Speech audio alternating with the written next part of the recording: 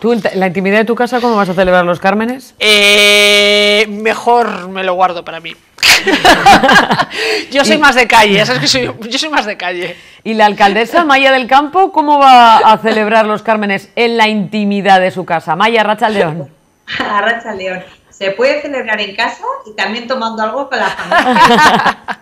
sé, yo también soy un poco como Arancha, que hay que hacer algo y además se puede hacer tranquilamente, disfrutar de nuestra hostelería con seguridad, ¿no? Eh, respetando esa distancia de metro y medio, con el uso de mascarillas, y yo creo que eso es lo importante, ¿no? Y por eso hacíamos ese llamamiento a la responsabilidad de los vecinos y vecinas, que yo creo que no podemos, no debemos olvidarlo. Todavía tenemos el coronavirus entre nosotros y nos tenemos que proteger por nosotros mismos y por la gente que nos rodea, por el resto de nuestros vecinos y vecinas, por nuestros familiares. Todos tenemos cerca a alguien mayor enfermo que, que podemos visibilizar ese riesgo de que nuestro comportamiento imprudente ponga en riesgo la salud, ya no solo la nuestra, sino la de los demás. Mm.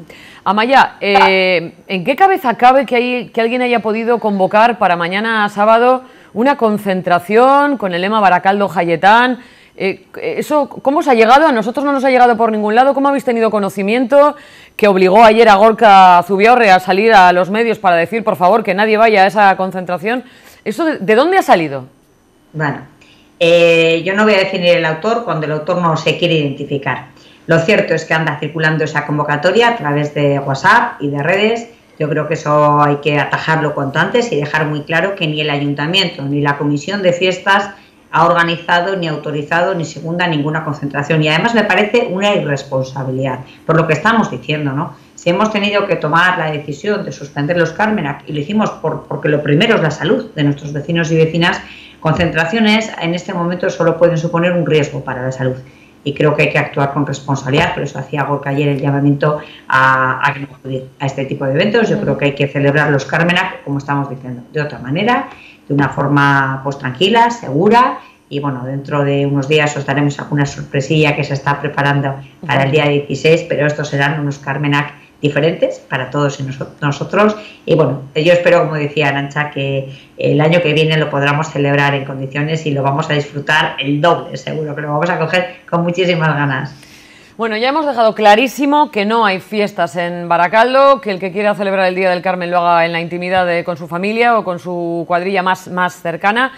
Eh, pero ya que te tenemos como cada viernes, vamos a aprovechar para repasar la actualidad de Baracaldo a lo largo de esta semana, en la que poquito a poco, como vamos repitiendo en los últimos viernes, eh, va recuperando la normalidad y una de las cosas necesarias para cualquier ciudad es tener unos presupuestos y si son participativos como en los últimos años, pues más que mejor.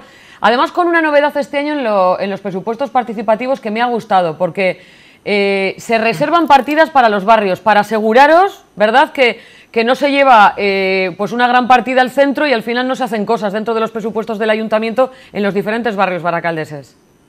Pues sí, esta iniciativa empezamos en el 2017, se hicieron los primeros presupuestos participativos, era una novedad en Baracaldo, y bueno, hemos verdad que hemos ido aprendiendo sobre la marcha y mejorando cosas, pues escuchando un poco las opiniones de los vecinos y vecinas y viendo cómo podemos mejorarla. Eh, de nuevo, saldrán, eh, después del verano empezaremos los pondremos en marcha esta, esta nueva edición que sale por dos años, son 1.100.000 para cada año, lo sacamos en dos años porque hay veces proyectos que no da tiempo a ejecutar en un solo año. Y esa es la novedad que, como decías, Coro, pues, pues también recoge el sentir de muchos vecinos y vecinas de algunos barrios de Baracaldo, ¿no? Nos decían que en barrios donde hay menor número de población, pues a veces no tienen la capacidad de movilización que tienen otros barrios más poblados que bueno, movilizan a gente y al final sus propuestas son más votadas que las de los las de ellos, ¿no? Bueno, y en esa, en esa reflexión es la que hemos introducido este cambio, ¿no? Donde 600.000 euros de esos 2.200.000 se van a reservar a los barrios, de tal manera que cada barrio va a definir eh, cuáles son sus prioridades con esas pequeñas obras porque yo creo que los presupuestos participativos es una de las herramientas que más ilusión genera en los vecinos y vecinas, porque nadie conoce mejor que su barrio que quienes viven en él. Cada uno sabemos cuáles son los proyectos importantes para, para nuestros barrios y también para nuestra ciudad. Y eso es lo que pretende hacer eh, los presupuestos participativos, ¿no? Ser la voz que recoja la voz de Baracaldo y decidan los vecinos y vecinas cuáles son sus prioridades. Y a veces tan importantes son proyectos globales de ciudad, como hemos visto en otros años, pues como columpios cubiertos o determinadas obras, como esas pequeñas cosas de nuestro día a día, de cada uno de nuestros barrios, que al final redundan en nuestra mejor calidad de vida, que es lo que perseguimos. Así que bueno, pues esto también es un síntoma de cómo Baracaldo vuelve a recuperar el pulso, vuelve a recuperar su ritmo habitual y a la vuelta de verano, como decíamos, tendremos las carpas en los barrios donde se explicarán el proceso, se recogerán aportaciones y bueno, pues se trata de ir construyendo entre todos y todas la ciudad. A la vuelta de verano, por tanto, esas carpas informativas para ir recogiendo las propuestas de los baracaldeses a los presupuestos participativos. Prueba también de esa reactivación de Baracaldo es que ya por fin vemos la luz al final del túnel de la ciudad deportiva de San Vicente. Que yo le decía ayer a Arancha, es que cada vez que me hablas de tu ciudad deportiva es un nuevo capítulo. A ver, va mejor que la mía, que, mi campo de fútbol de San Roque. Se está reformando íntegramente, baja. Desde luego va mejor que la mía, que mi campo de fútbol de San Roque hace muchísimos años se derribó. Pero claro, habéis hecho tantas cosas en la ciudad deportiva de San Vicente que al final vamos poquito a poco, pero ya ayer eh, Íñigo Asensio, el concejal de deportes, ya anunciaba lo último, ya el remate final. Mira, en la ciudad deportiva además me vas a perdonar, eh, Coro, pero es que es un espacio muy especial, que yo creo que no hay en nuestra comarca un equipamiento parecido. Ha sido una inversión muy, muy importante. Estamos hablando de más de dos millones y medio de euros en total lo que se ha invertido en mejorar la ciudad deportiva, que efectivamente estaba pues, en unas condiciones deplorables, ¿no? y prácticamente pues, no se podía prácticamente ni utilizar, ¿no? como ocurría con la pista de atletismo. Esto último que, que anunciaba ayer Iñigo Asensio era la reforma de esas gradas que estamos viendo en imágenes, se van a adecuar pues, para que se puedan utilizar en mejores condiciones y por hacer un poco la historia, recordemos que primero se hizo la reforma de lo que estamos viendo ahora, que es esa tribuna tan especial y singular que tenemos en la ciudad deportiva, el arreglo de toda la pista de atletismo, el propio césped del campo de fútbol, vestuarios, eh, baños, iluminación.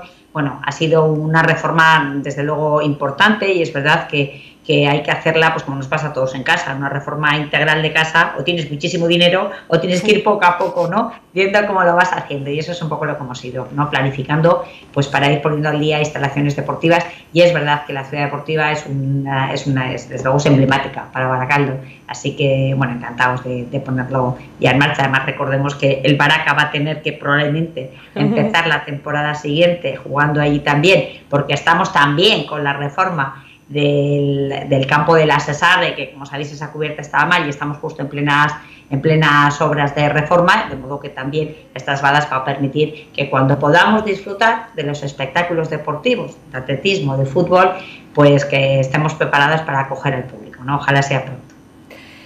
Arancha, antes de despedir al alcaldesa, ¿algún comentario que hacerla? Ah, no, yo que me verá por las calles tomándome algo. Pues pero eso sí, pero sin congregaciones, ¿eh?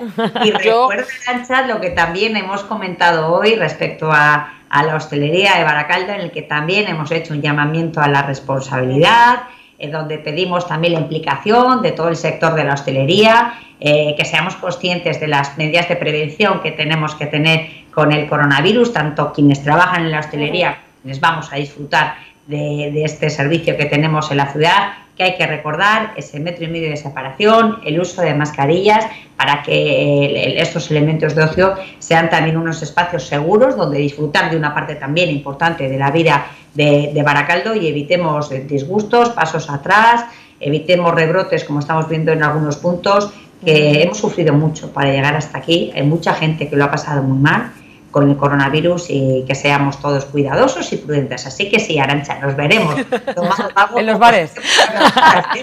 y además con la mascarilla y debidamente colocada. Seguro eso es, eso es. Nos veremos en los bares. Suena un poco así, pero, pero bueno. ¿eh? eh porque además eh, llegan los Carminac y que hay que disfrutarlos de una manera diferente, pero hay que disfrutar de nuestro comercio, de nuestra hostelería y de los extraordinarios paseos que tenemos para hacer en Baracaldo. Tenemos la suerte de tener una ciudad en la que uno se queda a pasar el verano y tiene tantas opciones para disfrutar dentro de la ciudad que seguro que vamos a pasar un verano estupendo. Pues sí, efectivamente. Es que ricasco Amaya, disfruta de este primer fin de semana de no fiestas y la semana que viene estamos de nuevo. Lo mismo, chicas, buen fin de semana y un beso a todos los espectadores. Agur. Agur.